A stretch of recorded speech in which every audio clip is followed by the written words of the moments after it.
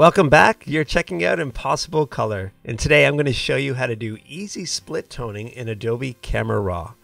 So I did a quick Google search here for toned photography, and I'm sure many of you are familiar with this look. Basically, it's a black and white image that had been toned with another color.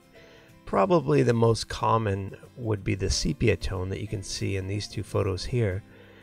A little bit here, but you could also use blue or any other uh, color to tone your photo. But today we'll actually be going through split toning, and basically what that means is the highlights will be toned one color and your shadows will be toned another color. So let's jump right into Adobe Camera Raw. This is the photo that I'll be working with today, and our final is going to look like this. So how did we get there? Well, the first thing we'll be doing, I did a little bit of prep work. Basically, I did some lens corrections and I took the highlights and brought them down and did some other exposure settings just to give this a nice tonal balance. But you can see the difference that happened when I did that was we got a lot of saturation in these colors. So before we do any split toning, we want to take the saturation down quite a bit. And I find that that makes the split tone look a lot better. If you apply a split tone on top of a very colorful image, it just becomes way, way too much. So if we go down to saturation, slide that down to, let's say, minus 25. And now I'm going to go into the saturation tab of the HSL and I'm going to adjust the saturation per color channel. The red I'm going to bring up just slightly because we lost some red in his face when we brought the global saturation down. For the orange, this image is really dominated by a lot of orange and all of this wood but I, would rather the story uh, come across more than the color itself.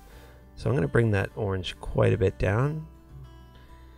And again, the yellows that are in all those woods need to come down a lot. So I'd say somewhere around there looks pretty good.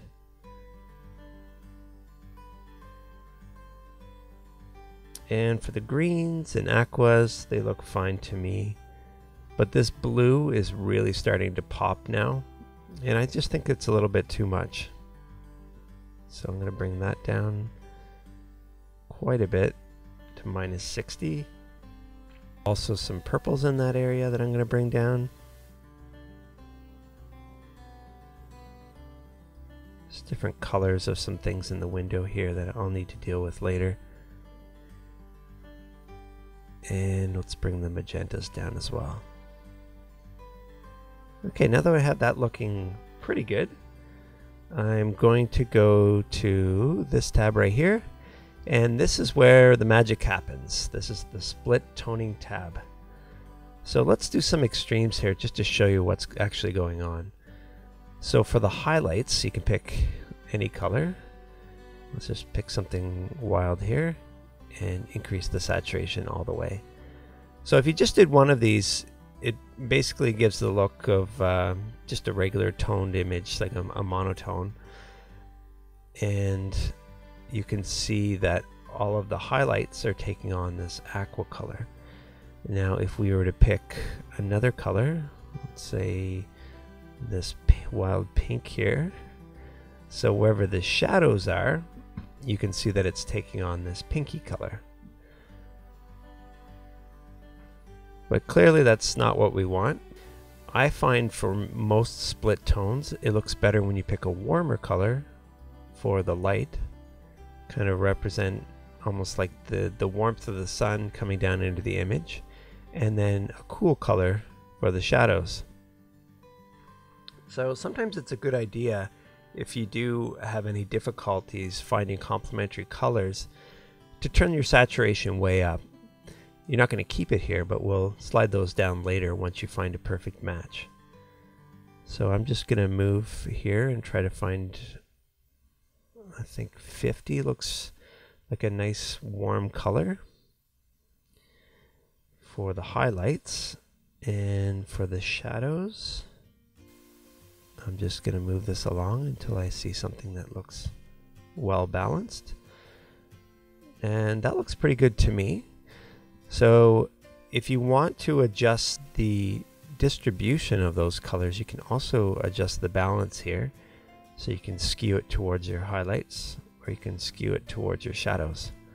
But I'm just going to leave that in the middle for now. And now I'm going to work with the saturation now that I know I have the colors looking good. Bring that way down. And just to start, I'll make the shadows the same.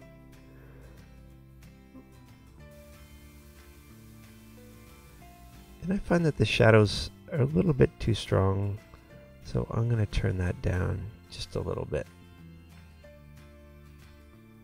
And there you go. That is how you do split toning in Adobe Camera Raw.